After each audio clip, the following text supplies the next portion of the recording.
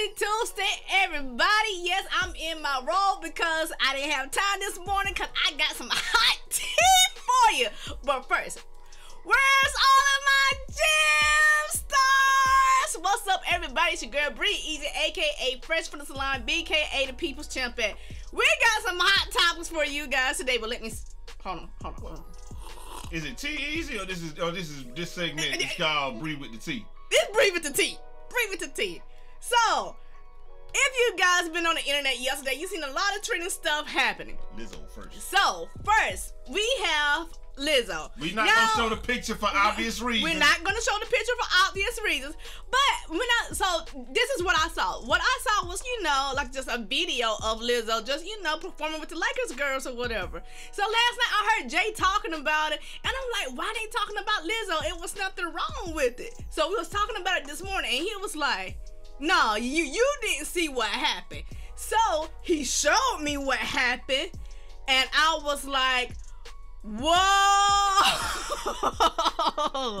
now, I don't care if you're a size 2, size 22, or way too 22. There's a line that you just don't cross and have your buttocks out at a event or a game where there's children and everybody else at you just don't do that that's something you may do at your concerts or in the private of your own home Your performing award or show, uh, yeah well, definitely yeah when but she performing, that's fine because you know Yeah. what you're getting into. right but not at a basketball game this was a so Even if you got a too revealing top, that's fine. But you can't have a hole cut out for you. a hole cut out I mean the hole was bigger than Prince you know those those Yeah, the Prince the, butt out the jeans. Prince butt out jeans or whatever Even if it was at an award show, like yeah, that'll be fine. Yeah, th- that's fine, but not at a basketball game. And this is in no way shaming, you know, body shaming Lizzo or anything like that. Because it has, Lizzo. I love her because Jay know I rocks her, her music all the time. Yeah. My men great till they gotta be great. But anyway, I know we gotta keep going on. So, um, yeah, you just don't do stuff like that, no matter who you are. Like I said, size two, size two twenty two. Even if, if Beyonce did something like that, I would still be talking about it because you don't do that. Okay, moving on to the next topic. So yesterday, you know, we talked about the Patriots. Um, feeling like they were robbed, but apparently they have admitted to violating the NFL um policy and are being investigated about it. So Bill Belichick said that they had zero involvement in what was going on. That's all their production crew, and they didn't know anything about it. This is not the first time that a uh And they had permission from the Bengals yeah for a documentary. yeah. So so this is not the first time that a video of another NFL team coming up with you know Yeah. the Patriots you know using to be like able filming, cheat. filming stuff like walkthroughs and stuff like that. Like they Yeah. filmed the Rams walkthrough right before the game, the Super Bowl, and beat them. But I don't care about that because we wanted them to beat the Rams back then. You weren't gonna beat the Patriots after 9-11 anyway. It just wasn't gonna happen. But continue. Okay, so that's what's going on with that. Okay, and then I think I have one more topic now. Y'all gonna be ready for this?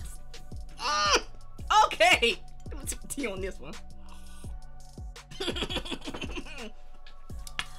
so apparently, what's trending yesterday is Nick Cannon uh did a diss, a diss record uh to Eminem. So you know, I don't really listen to diss records. That's more Jay Z or whatever like that. Sounds like you know. Yesterday, what I first saw was like you know, uh, Nick killed Eminem in his diss record. Then this mo- morning I woke up and we see rest in peace Nick Cannon. That, that's trending.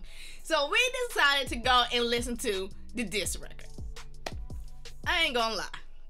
Um, After you get past the first minute you- and 30 seconds, after you- Nick Cannon's verse. yes, cause Nick Cannon's verse, he had a few cool things in there or But you whatever. can't overcome his corniness. Yeah, but yeah, cause all I saw was like Wildin' Out jokes type. Like if you ever watch Wildin' Out, which I do love the show, but that's what his delivery was kind of sounding like to me. Thank God that he had uh, what Hitman. Hitman Holla, Hitman Charlie Holla. Clips. Charlie Clips killed it though. I Yeah. ain't gonna lie. Hitman was fire, but Charlie Clips killed it. Right. So if And you, conceded on the verse. On yeah, on Yeah. the uh, track. so if you guys uh have listened to the disc record, drop what you think below about it. You know, did it go hard or or what? Okay, so last thing I know, you guys probably thought we forgot about you, but we haven't. So we're bringing back the comparison of the ladies. So today we're comparing Lala Anthony. My sister. I'm Luda. Luda. Oh, okay.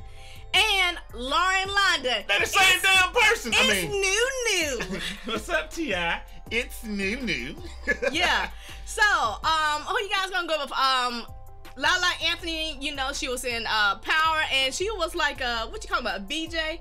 What was Yeah. the the, the Yeah, art? this- what yeah. was it on MTV? What was it called back in the day? VJ. No, the show was the the, the the RL or TRL or something like that. TRL. TRL, yes. And we got Lauren London from like ATL and um some show she's playing with on on BET Yeah. and some other stuff she was in. I'm gonna tell you my pick. I like Lauren London because you know we got the dimples. Like if you zoom in, go back today. You- Where's my dimple? It, it's somewhere up in there. It's in there. But you know, I just like Lauren London. She just had this whole innocent look to her, and I, I love her dimples. And Lala Anthony is beautiful. She is very beautiful, but I can't get with the uh, enhancements, Augmentations. augmentations. There you go. Because I really felt like it was unnecessary. She's already beautiful. Like she didn't need it, and if you get it, it's fine, but sometimes too much can be too much. And in this case, for me, it's way too much for her. But anyway, drop it down below what you guys uh going with. Uh Lala Anthony or Lauren London. Hit the button, Jay. Lauren London. Oh, my yes. bad. My bad. I'ma fire you, Jay. Where how you gonna find me? This my show. oh, Lauren London. So drop it down below. Don't forget to hit the subscribe button. And I'll talk to you guys later. Peace. Get out the seat. I said get out the seat. Me and my me and my grandma roll on. Get out my seat, talking like your grandma talking about you and, and, and looking right at you on the phone, talking about, mm-hmm, look at this damn dumbass boy and got himself in trouble again. Anyway, y'all y'all let me know which one y'all think it is, man. Uh Lauren, I mean Lala Anthony or Lauren London. Lala Anthony, Lauren London. If you can't choose, put both of them B-O-F-F-U-M down in the title, and uh, we'll just go with that. I'm gonna tell y'all what though, man. Like I said, like the enhancements, they cool were they overkill? I mean, they ain't really overkill, but it just be like, you know, you didn't need to do it. That's all. I mean, she a beautiful woman, but if she did it for her husband, that's who she did it for. I'm not married to her, and uh, you know, it is what it is. Uh, let them eat cake. It, I mean, just let you know, let them do their thing, man. But you know, um, empower. I mean, I don't know, man. Is it such? Is it a such thing? It's too much ass. Yes. You think it is? Yes. Do you realize how many problems it's causing some of these ladies? But I mean, but problems aside, though, isn't a such thing as too much ass. Do I got too much ass now? Like I said, the first round of ass and breast augmentations I thought was fine. The second round, I still don't really got that much of a problem with, but it does look like too much, like in power When sometimes. it's natural, it's fine, but Okay. when it's augmented, it's too much. Okay, she says it's too much. We still love Lala though, man. I love her to death, man. But you know, I just Do want you? I just want her to know that she's beautiful. That's my sister. I gotta love her. Uh, but we just want you to know you beautiful. You ain't, you ain't have to do none of this stuff. But hey, if you did it for that, if you did it for that, uh, for your husband, it's all good, baby. It, it, it is what it is. Anyway, trying to get the video. Bridgerton took up eight minutes. We trying to get it under twelve. You know, we ain't gonna do that. Uh, get it under. We trying to get it under twelve. Uh, t-shirt coming up soon. Check it out. Anthony Davis in 2K News. This is all we really got right now. This is the morning show, man. It ain't even really 2K News no more. We got to call this something else. Uh, Anthony Davis with the 50 burger, and uh, you know we got his moments card coming up and uh, win the game. I mean, see, drop 50. Okay, let me see. Thinking, think, thinking this calls for a moments challenge. Drop 50 with any player and win the game and earn 4,000 VC. Boom, there it is, the moments challenge. They dropping them. Uh, 2K has a moments challenge, so if you play, oh, is that MT? Oh, MT. But uh, them my player points ain't nothing. 40, 4,000 MT ain't nothing. What you gonna do with that? Buy a shoe or some dog or replenish your contracts? Do you even do contracts anymore? But hey, anyway, the Anthony Davis Moments Challenge is out there. Um, that's what they got, man. Um, and, and we're gonna talk about something else in it. Later up, next up, we got from Reddit, the NBA 2K20 Reddit. Uh, somebody tried to tell me that I was not on the NBA 2K20 Reddit yesterday. Yes, yes, I was. And uh, that that glitch that people are doing with the My Player Nation, it is causing people's uh, people's files to get stuck in 100% speed. But don't believe me, just go do it yourself and don't back your game up and see what happened. Anyway, up next we got Patrick has. I mean, this is this is like somebody sending something to uh, 2K support. Patrick has contacted you about an issue he's experiencing with NBA 2K. When he plays the game in the neighborhood, his shots are not hitting as much as he as he likes. I mean, as he thinks they should, even though he's upgraded the applicable attributes and badges. Patrick has noticed. I mean, Patrick has not noticed any other detrimental effects, uh, lag, freeze, whatever. Well, I got news for you. Patrick is trash. Okay, that's what that means. If you ain't hitting your shots at this point in the year, when they done turn, they done dial full whites going in all the way up, and they done dial missing full whites all the way back. If you still ain't hit and they done turned it and then to disguise it, they make me, who times my shot perfectly damn near every time, they make that not be green and it, and it looks like a full white every time. I mean, every now and again, just to try to disguise a little bit of what I hit full whites too. Nah, I know my shot green. My joint almost green. It's just this is just like 2K18 where either it was green or it wasn't going in. That's how my guy was because my three pointer wasn't high enough. But hey, it is what it is. Look, somebody asked him, you know, what badges are you rocking? And the other dude says I can consistently green with a boost with the 69 three pointer and the right badges. That's true. So that's what I'm saying. Patrick, you need to watch some Jai Eazy videos. There will be a jump shot video up tonight. Um, and, and you'll be able to find out a jump shot and all that. Patrick, we, we, we praying for you, my guy. Because if you can't shoot at this point in the year with a shooting bill, uh, it might be time to realize that it's time to make an inside center, my guy, or something like that, or a lockdown defender, something that's not expected to be able to shoot the ball. Because if you can't shoot the ball at this point in the year, uh, you know, and you are a shooting bill, something wrong with you, my brother. Uh, I'm just letting you know. It is what it is. On to the next thing, man. The last little thing that we got today. Uh, NBA 2K Lab has a video out on the effects of catch and shoot, and they're saying that if you've got a low three pointer, catch and shoot on bronze is probably all you really want to do. But um, but if you um if you got a 90 plus rating, uh, then you can do catch and shoot up the Hall of Fame, and it and it and it and it's a dramatic difference. Uh, you know, almost a 12 percent difference or what have you. That's what they're saying. Now, I'm not gonna lie to y'all. I listen to a lot of things the NBA 2K Lab says, and I rock with them guys, and I endorse them in every video. I don't know how much I'm gonna listen to that one because I know that my player shoots dramatically different. With there was there seems to be no difference between catch and shoot gold and catch and shoot Hall of Fame for me because I got an 83 ball. But for and y'all let me know if you got a low 73. Did you start shooting better when when you got catch and shoot or or what? Like I think what it is is it's hard for them to really test catch and shoot because they catch the ball, wait, and then shoot.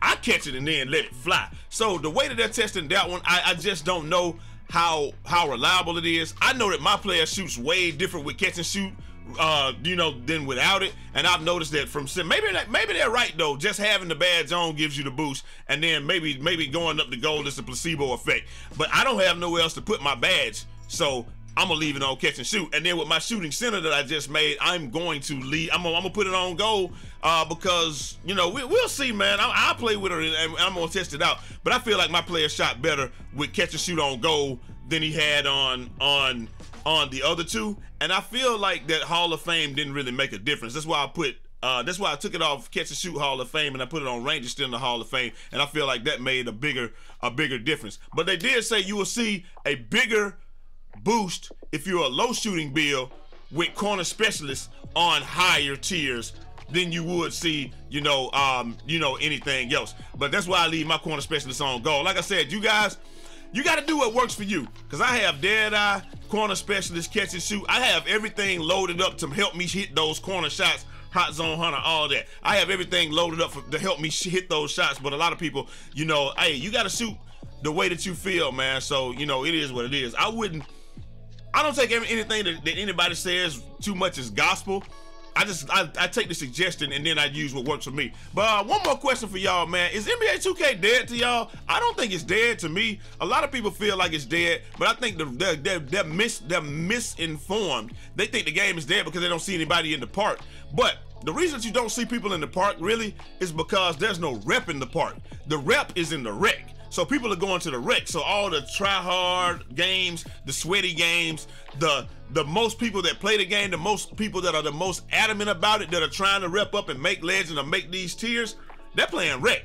That's why the park seemed to be a little bit dead. And then, you know, like I said, they still haven't gotten the algorithm ready or right, quite right about how to how to make things work out the right way and get people in the park versus the people that are shopping and stuff like that. It's real hard, man. So that, that that's what I feel like it is at this moment. I don't think the game's dead by any any stretch of the imagination. If you're a, a habitual cheeser and that's all you want to do, then maybe it is dead to you. Maybe it is does feel like it's only one way to play the game and all you can do is do the behind the back. But here's a novel idea. Try to play the game a different way and you might have some fun. I have a lot of fun, man. I made a new bill. Um, I'm still team no VC spent after the first one except for the chalk package. And like I said, they're still in the store. Go over there check out their chalk package. If you on Xbox, a hundred a hundred thousand VC for ten bucks, can't beat it. Anyway, that's all we got for y'all, man, today. Hope you guys enjoyed the video. Uh, y'all let me know one more time. The luscious Lala Anthony or the lovely Lauren London? Lala Anthony or Lauren London. And what did y'all think about the whole the whole uh, Nick Cannon and and and uh, Eminem beef? Boy, Clips had a thing. Boy, he had some lines in that joint. But look at this though.